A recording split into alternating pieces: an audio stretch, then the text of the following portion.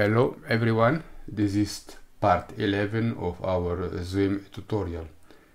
We have now all the information except the rain gauge and uh, we have to insert the information on the rain gauge. We click twice on the rain gauge and the property dialog will appear. There are not so many information requested. Name is automatically generated. Like I've said, if the area is very big, you might have several rain gauge influencing different uh, sub-catchment. The coordinates do not play any role. Description uh, and tag as usually.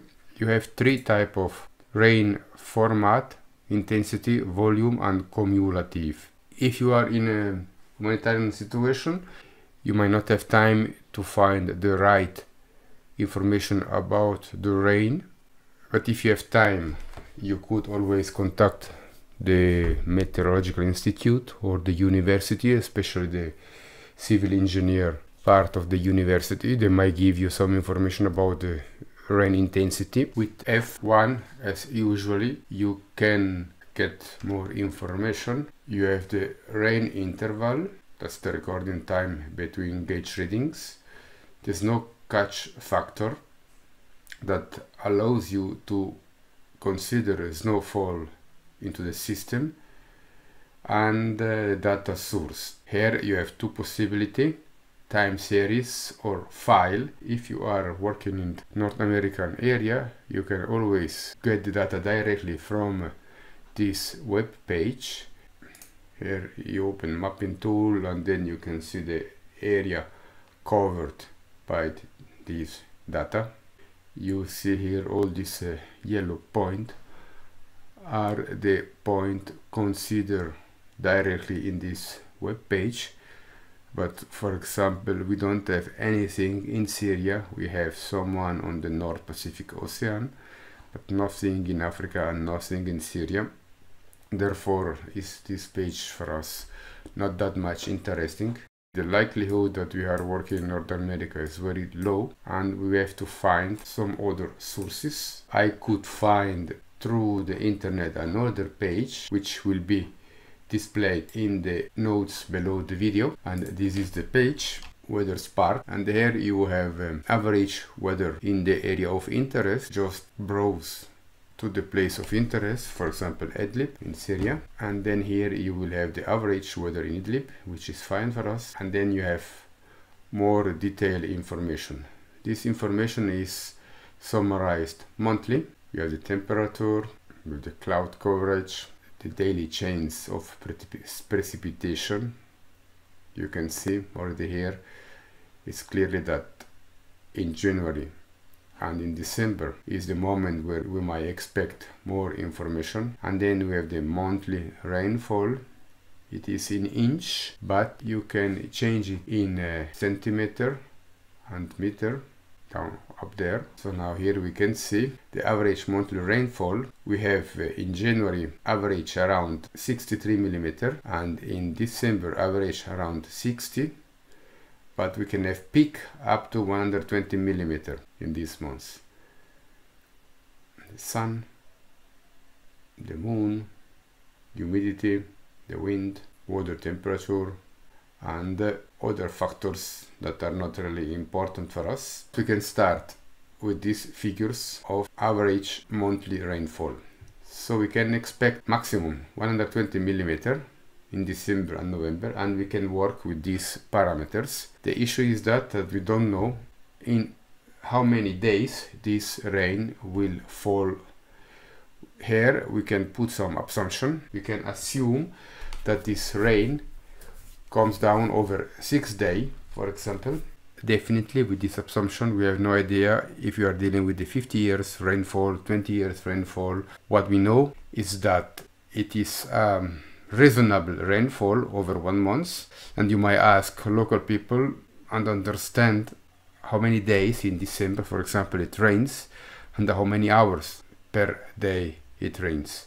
On the long term you have to look for more precise and recognized data. Let's start with our assumption. We open our Excel file. We know that in December and in January we have 120 millimeter we can assume that this water rains over four days. This is an assumption, not true, but for sure this is an assumption that causes a lot of water. So it means 120 millimeter divided by 4 it's 30 millimeter per day. In 4 days it rains 30 millimeter. Now we do not accept that all this rain falls down during 24 hour but during 6 hour. So it means that for every hour we have a, an intensity of 5 millimeter per hour. Again I repeat this is an assumption that I do is not verified might not be true but at least we can start the simulation and we can have an idea about the rain coming to our drainage. On the longer term you should definitely look for more precise data. Let's go back to our SWMM example. We open the property dialog for the rain gauge. We choose the right rain format. We have decided to work with rain intensity 5 mm per hour for 6 hours time interval we say that we are going to change our intensity every hour so that's why I type one hour. Snow catch we do not consider snow. Data source we don't have a file but we have a time series which is not defined yet. To define the time series we click on time series here and we add one time series so we are going to consider one day. So I type the name of the time series. I can add any type of description. And now here I need to write the time. I want to consider 24 hours. Therefore I type the 24 hours.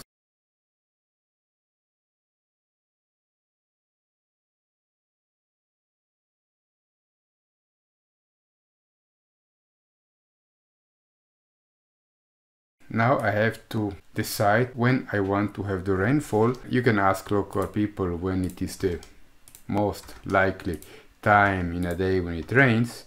I don't know it, so I say I will start to have the rain at 9 o'clock in the morning and 5 millimeter per day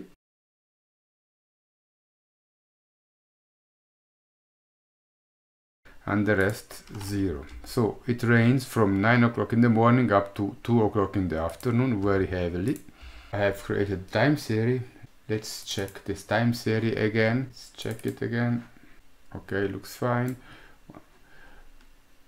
Okay now I need to link again our rain gauge to the time series and this time I can automatically see that the name appears here Okay, that's fine. At this point I should have inserted all the information and I can run the analysis. But before running the analysis I need to check other parameters.